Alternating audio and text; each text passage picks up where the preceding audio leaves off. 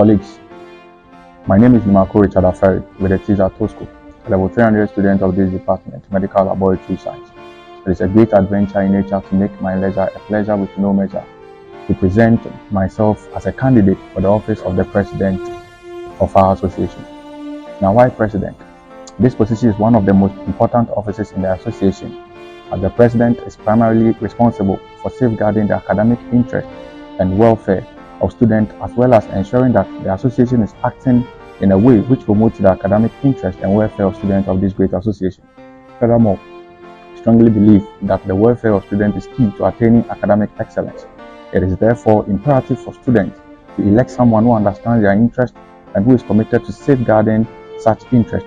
I'm therefore seeking your support and vote even as I offer myself to serve you in the capacity of president.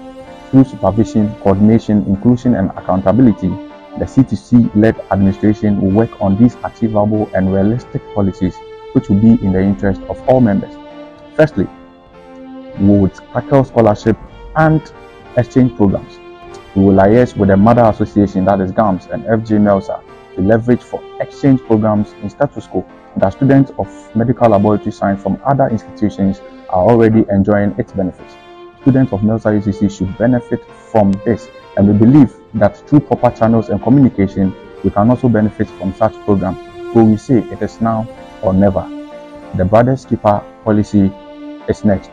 We regulate and improve the activities of the welfare committee by giving them the needed support and the apportioned money of the dues on time and working hand in hand with the class representatives to selectively screen for students who need the assistance of the welfare committee Thirdly, we have what we call the Obiara Bete agenda.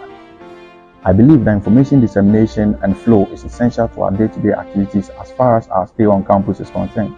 As such, the C2C-led administration will improve the activities of the call center to ensure that information reaches every student.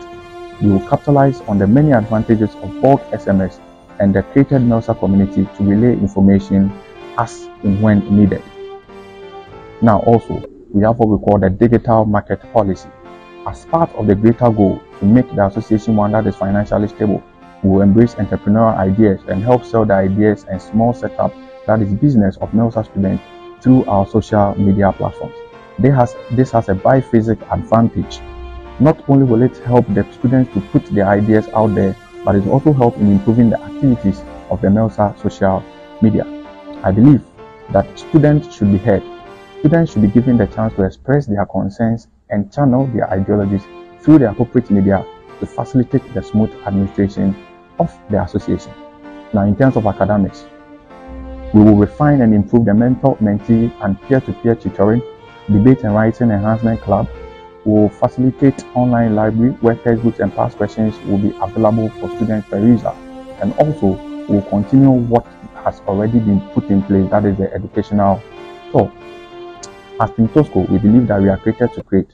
Simply, we say C2C. Fellow students, let it be known that C2C is not just a mantra, but the true definition of our existence.